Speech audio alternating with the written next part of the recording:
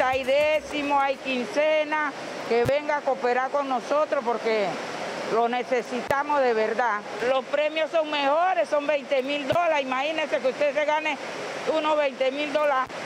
¿Cómo le cae esa platita? Vengan, vengan. Así como Heroída, sus compañeros esperan poder recuperarse. Llevan meses de altas y bajas en las ventas a consecuencia de la situación económica generada por la pandemia. Este domingo jugará el segundo sorteo extraordinario de este año.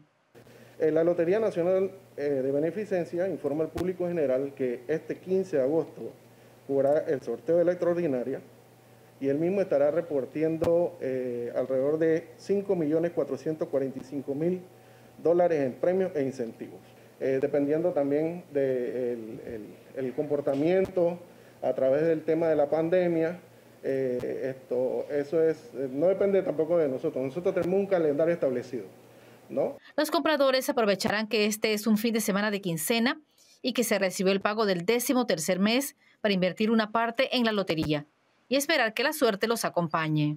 Invertir un poquito en la suerte, la lotería, sería algo maravilloso, eh, una bendición de Dios. ¿Qué números anda buscando? 93. Así que con este uno puede quizás comprar una casa, un carro, pagar la educación de sus hijos y por eso muchos venimos a buscar con esa esperanza. Este domingo los sorteos regresan aquí a la Plaza Víctor Julio Gutiérrez de la Lotería cuando se va a jugar el sorteo extraordinario. En la mañana van a haber algunas actividades culturales, pero a la una se va a cerrar al público para poder mantener las medidas de bioseguridad. Con dos dólares te ganas 20 mil, qué rico, ¿ah? Y les ayuda bastante ahora en esta situación. Bueno, sí, porque las ventas han estado bastante bajas. Pero, han bajado las ventas? Bueno, no sabría decirle en cuanto a porcentaje, pero en cuanto a este sorteo esperamos que mañana y el domingo se mejore la venta.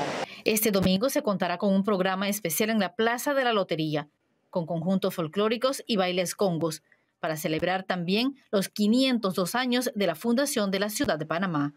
Jenny Caballero, TVN Noticias.